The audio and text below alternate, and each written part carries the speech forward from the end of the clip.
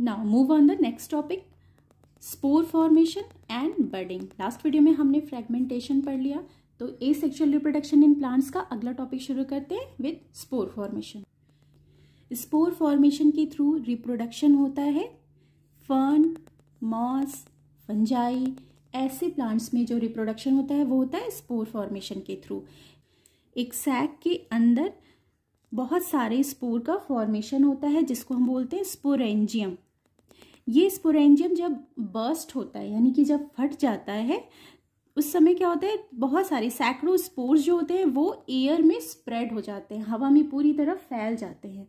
ये इतने ज़्यादा माइन्यूट होते हैं कि हम अपने नेकेड आइज़ से इनको देख नहीं सकते, मगर ये एयर में चारों ओर होते हैं, और ये तब ग्रो करना शुरू करते हैं जब इन्हें फेवरेबल कंडीशन मिलता है, यानी कि फेवरेबल इनका, इनके लिए जो टेम्परेचर होता है, वो ऑप्टिमम एक लेवल तक इन्हें टेम्परेचर चाहिए और मॉइस्चर चाहिए इनको ग्रो करने के लिए तो तब तक ये एयर में मूव करते रहे तो इस तरीके से स्पोर से एक नया प्लांट डेवलप हो जाता है।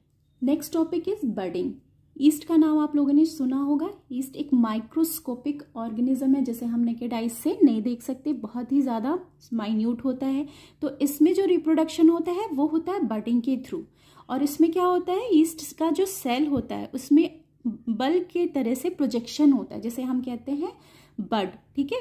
इस सेल से बल्ब लाइक प्रोजेक्शन होता है। धीरे धीरे क्या होता है? ये जो प्रोजेक्शन है, वो पेरेंट सेल से अलग हो जाता है डिटैच हो जाता है और फिर एक नए प्लांट में प्लांट सेल में ये ग्रो कर जाता है।